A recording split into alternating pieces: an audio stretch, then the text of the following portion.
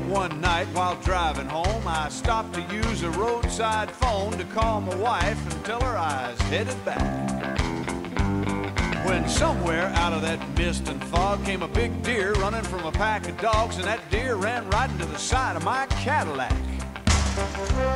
Well, it cracked like thunder when he banged his head, and the deer fell over, and I thought he's dead. And it spooked the dogs, and they ran off back into the woods. So I picked that deer up by his feet and laid him out real neat in my back seat. I'm thinking some venison stew might taste real good.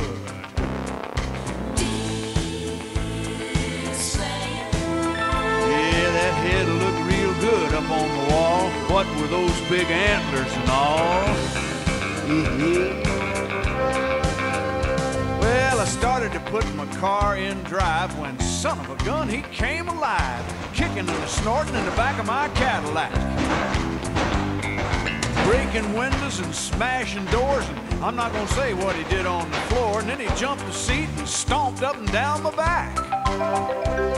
Well, I was just trying to stay alive, so I jumped out and left the deer inside. Ran to the phone so I could call 911. Then I heard a noise and I froze in my tracks. Sounded like those dogs might be coming back. And I looked up and sure enough, here they come.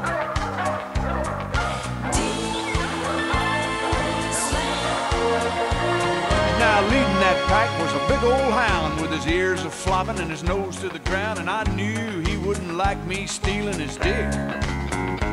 Now, that deer had his antlers up through the sunroof, and I'm climbing up the telephone booth when that dog jumped up and bit me on the rear. Help! Give me the police! Thank God for 911. Somebody get on out here quick and be sure to bring your gun. I got hound dogs nipping at my heels and families are wrecking my coupe de ville. Help, give me the police.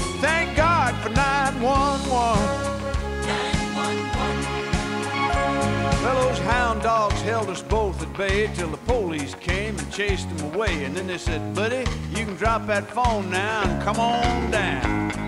We can't think of any rhyme or reason for you having that deer because it's out of season. I think we better all just go see the judge back in town.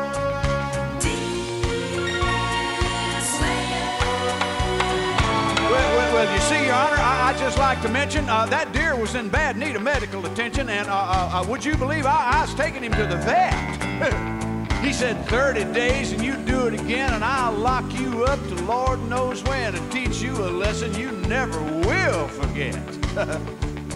now my Cadillac's a total wreck. I got hoof prints all over my back and dog bites on my toes and up my shins.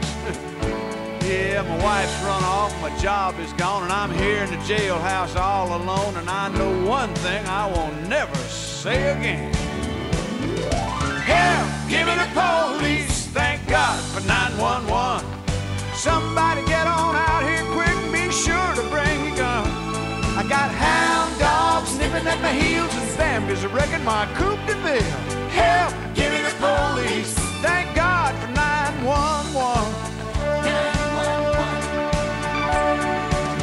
I tell you one thing, from now on, roadkill is off my menu.